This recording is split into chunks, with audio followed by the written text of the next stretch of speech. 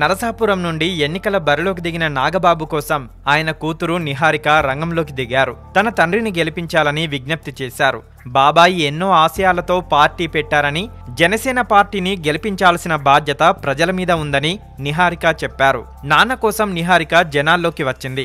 నాగబాబు నరసాపురం లోక్సభ నియోజకవర్గానికి జనసేన తరపున పోటీలో దిగగా ఆయన కుమార్తె సినీ నటి నిహారిక ప్రచారానికి వచ్చారు. తండ్రి తరపున ప్రచారం చేసిన ఆమె ఈ ప్రాంతం తమ సొంత ప్రాంతమని ఇక్కడి ఓటర్లు తన తండ్రిని గెలిపిస్తారన్న నమ్మకం ఉందని మాట్లాడారు. అలాగే బాబాయ్ గురించి జనసేన పార్టీ గురించి నిహారిక మాట్లాడారు.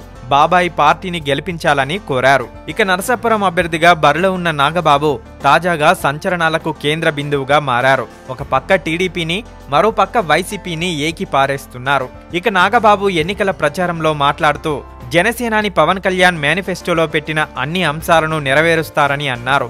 ఇక నిరుపేదలకు రేషన్ బదులు రెండు వేల ఐదు వందల రూపాయల డబ్బులిస్తామని పేదలకు గ్యాస్ సిలిండర్లను ఉచితంగా ఇస్తామని తెలిపారు నాగబాబు.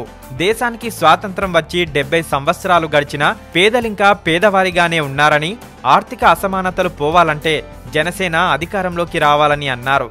ఇక పోటీలో ఉన్న జనసేన అభ్యర్థులందరినీ గెలిపించాలని నాగబాబు నిహారికలు కోరారు.